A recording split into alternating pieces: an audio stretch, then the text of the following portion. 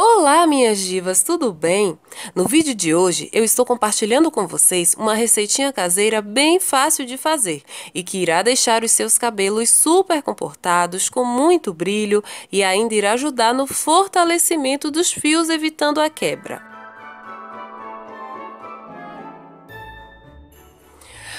Para começar a receita, eu peguei uma maçã e irei cortar na metade, porque nós iremos precisar apenas de meia maçã, que eu irei passar no ralador.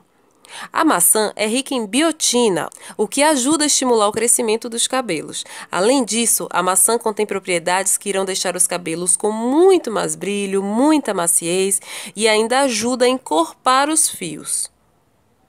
E depois que eu terminei de ralar a maçã, eu passei pela peneira e irei precisar de 3 colheres de chá desse sumo de maçã.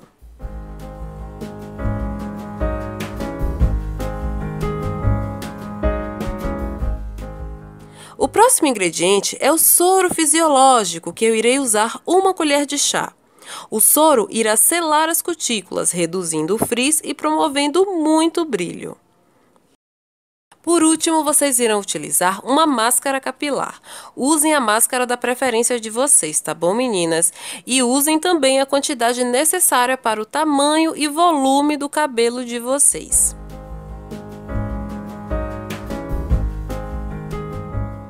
Agora é só misturar bem e logo em seguida vocês irão aplicar nos cabelos já lavados, ou seja, eu lavei os cabelos com shampoo, retirei o excesso de água e logo em seguida enluvei todas as mechas. Deixei agir por 20 minutos e logo em seguida eu enxaguei e condicionei. E essa receita, gente, é maravilhosa. Vai deixar o cabelo com o mesmo efeito de uma hidratação feita no salão.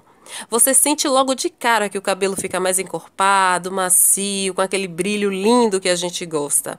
Vocês não podem deixar de fazer essa receitinha, que com certeza é uma das melhores que eu já fiz aqui.